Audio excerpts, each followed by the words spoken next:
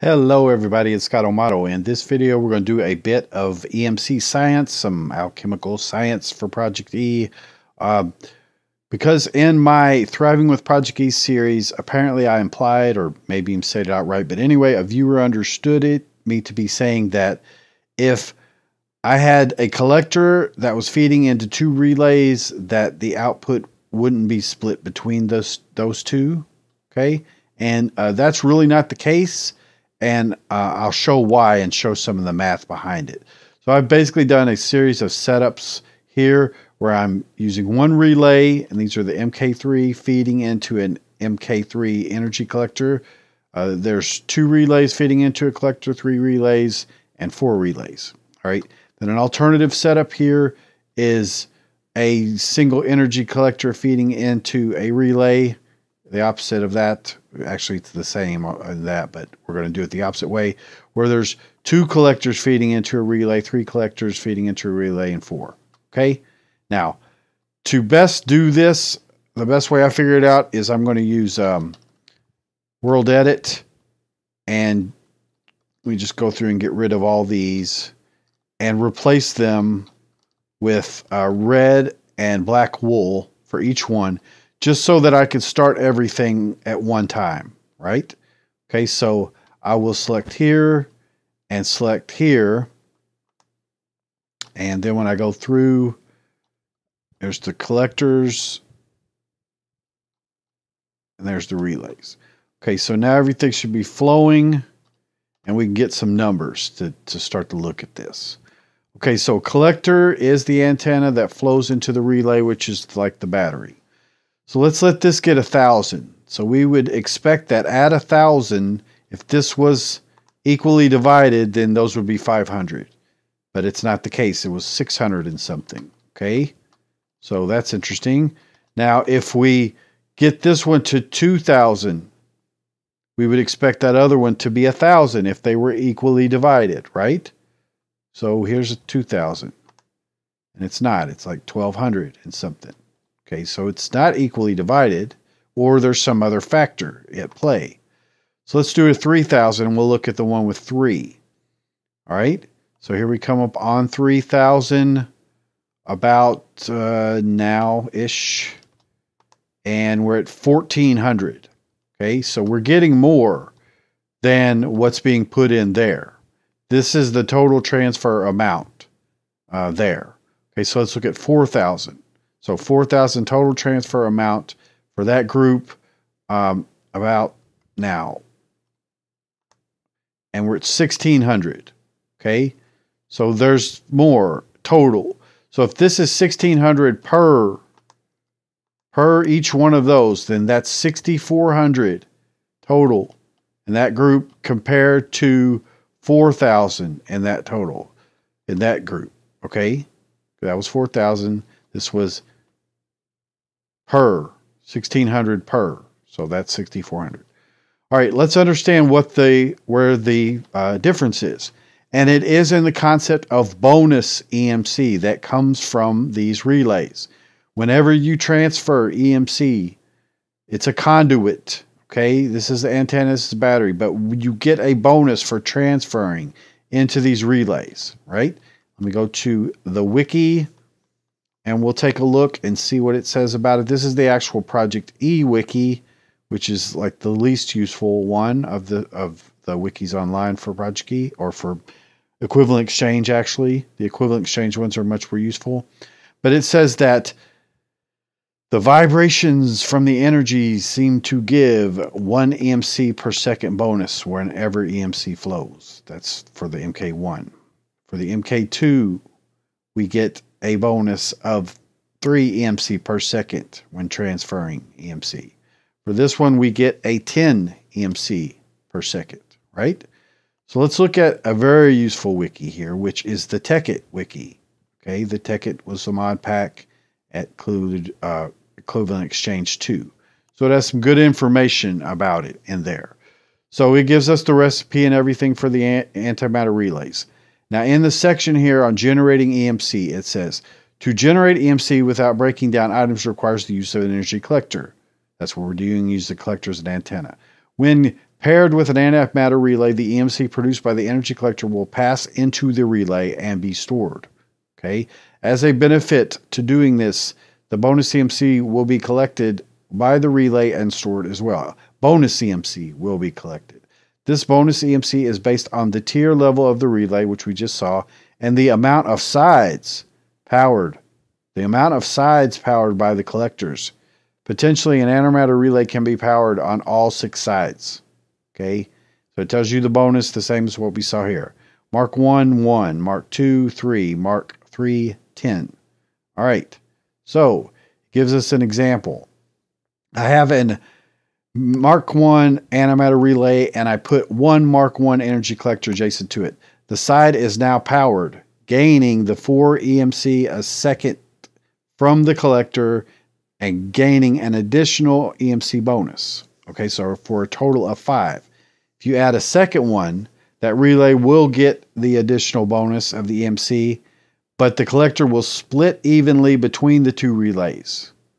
Okay, energy collector will split evenly between the two relays. All right, so let's let's apply that to our example here.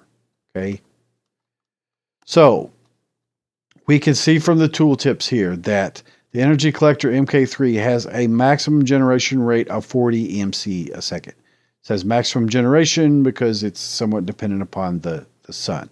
These higher levels, they produce light themselves. Okay, they produce a light level of 15 themselves, so the level of the sun doesn't matter. They're they're self-powering. All right, but it produces 40 EMC a second, and then we get a bonus EMC for it flowing between these two at the Mark III level.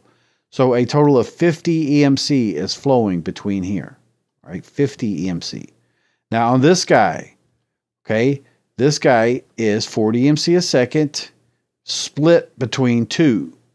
So 20 EMC a second going into each one of these, plus the 10% bonus for each side. Now, side is considered this antimatter relay is connected on one side. This anti-relay is connected on one side on one side. All of them are connected on one side, but they add together because each side will get a 10 bonus. So this is 40 EMC split into two, 20 EMC for each one, 10. So that's 30 EMC to each one. So that's a total of 60 EMC compared to 50. So 50 EMC is flowing here, 60 EMC is flowing here. Now this guy uh, we've got our 40 EMC a second being split into three. So that's basically 13 EMC if you round down. So 13. Uh, so once again, amongst those, if we get 13 here and we get a bonus EMC of 10 for each side, then we get uh, 23 for each one. So 46, 69. This one's 69. All right. 69 and 60 and 50 is what we're looking at. Now, we have this guy here, which, once again, 40 EMC a second. Now it's split into four, so that's 10 on each end. 10, right? And um, so that is going to be a 10 bonus as well on each side. So 20 into each one of these, 20 EMC for 80. So 80, 69, uh, 60 and 40. Okay? That's how that works.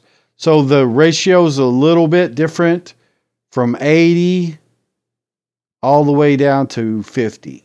Okay? 80 to 50. So none of them are actually double of the any of the others. So let's look at it. We're 15,000 there. We're 9,000 times 2 there. So we're 18,000 there. 15,000 to 18,000. This one, um,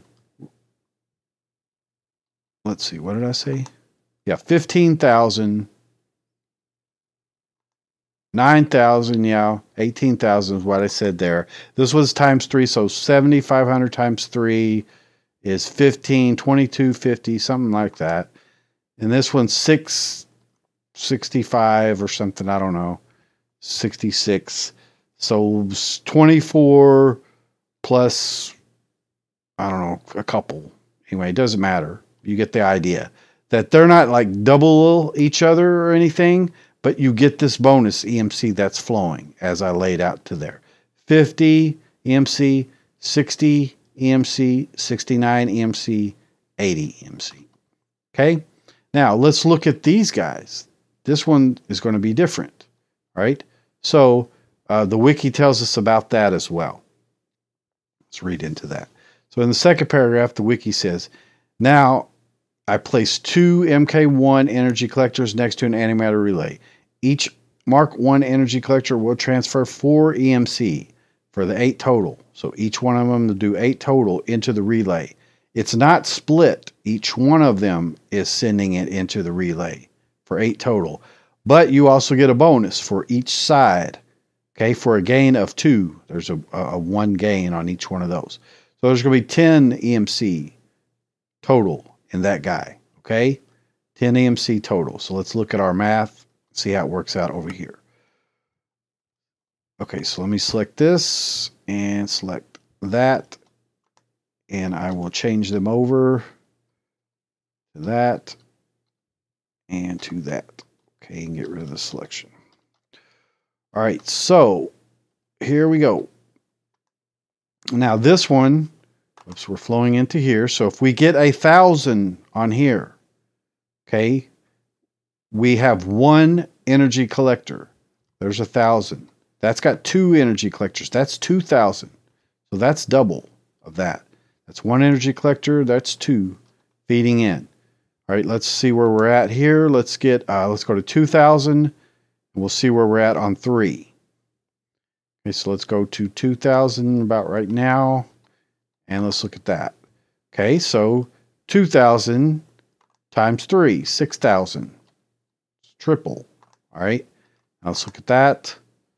To go to 3,000, we would expect there to be 12,000 on the uh, other one at the end with 4. So 3,000 is pretty much right there and 12,000. Okay, so they're pretty much triple of each other, but there is additional bonuses on each side too. Okay, so let's let's break it down. 40 EMC a second is flowing in there. That's 50 EMC a second, just like that guy. Okay, this one, there's 40 EMC and there's 40 EMC. That's 80. Each side, however, is getting an additional 10. That's 100. That's double that, 50 and 100. Okay, this guy, 40 EMC, that's 12, uh, wait, 12, 120 EMC plus 3, that's 150 EMC. Okay, that's three times that guy. This one, 40 EMC times 4 is 160, plus the bonus of 10 on each side for four bonuses for 200. Okay, double that one, quadruple that one, just as we'd expect. These are much straighter math to figure out because they are just multiples of each other. Okay, these are in ratio to each other. Okay, uh, but they do still get a bonus and it's not totally split between them. Okay, very important to realize. Now, just as a final thing, they give you an additional thought and say, is it worth it to do it? There's a break even point. Okay, so what does the math say? That before jumping at the chance to make some extra EMC per side, just considering bonus alone is what they're doing. Take a look at the figures if antimatter relays will take multiple real time hours, real time hours, hours of your life to recover the cost of the materials required to make them. All right. So, unless you specifically need one of it, need them for their unique functionality, it's ill advised to invest in it. So they say. All right. Now, what they are breaking down here for you, they're saying if you want to buy one additional MK1 based on the MCU generated extra just the extra stuff, then it's going to take you 20 hours if you just have one. Okay. One side being powered. Okay. Of a relay. One side of a relay being powered. That, that very first setup of a pair that we saw. Okay. This is my second setup I'm showing, third setup, fourth. I didn't show five and six. All right. So 20 hours, 10 hours, six hours, five hours, four hours, three hours. Okay. And not much gain to go from two because the cost goes up. as well. Same thing with three. The cost goes up, so you're not getting a lot of difference. Okay, it's it's a little less expen- a little less time investment, but still not that much. Now it says all of them were tested at light level 15. Here, by the way, is the light level for uh, the uh, relays. MK1 gives a light level of 7, MK2 light level of 11, light level of 15. Because it does matter, and they'll show you in this final EMC equation here, that if you want to look at something on all six sides, you potentially have a side that's covered, that's not getting light, that is only getting light from its self generating self and the relay. Okay. So if you're doing MK1, you're not quite reaching full light capacity. Right. If you're doing MK1, you're seven, you know, and even if you had two that were lighting each other, it's only 14. You're not quite getting the full uh, light levels. Tells you right there it's seven. And so you have to consider that of what, how that's going to matter in the calculation because it'll affect your EMC flow a little bit. These higher levels, we don't have to worry about that. Okay. And, and keep in mind that we know the secret of time control and we invest in um, dark matter pedestals and watch the flowing time, which are additional costs, but they vastly speed these guys up to where we quickly reach a saturation of EMC that we cannot possibly spend beyond all of our wildest dreams. And I like that point. And by the way, guys, these are overpowered videos.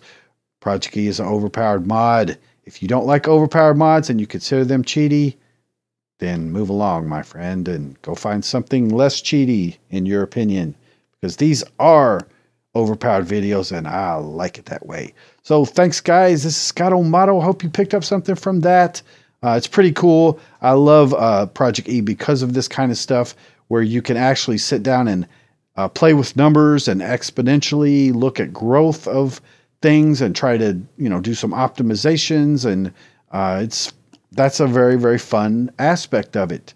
Uh, I do want to state emphatically that EM that Project E in itself is inherently pretty balanced amongst its um, play, the interplay of its elements. It's only when you start to do cross mod interactions and stuff that you quickly get out of control and it can break other mods.